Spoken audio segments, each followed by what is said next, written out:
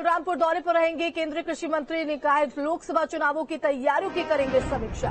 तो मतदाताओं और कार्यकर्ताओं के साथ विचार विमर्श करेंगे। कृषि मंत्री नरेंद्र सिंह तोमर जानेंगे चुनावी माहौल। बीजेपी कार्यकर्ताओं को चुनावी जीत का मंत्र उनकी तरफ़ से दिया जाएगा। तो देवी पाटन शक्तिपीठ में दर्शन पूजन भी करेंगे। सिंह तोमर। तो तस्वीर आपको हम दिखा रहे हैं। आपको बता दें कि उससे पहले तमाम तैयारियाँ उनके आगमन को लेकर कर ली गई हैं।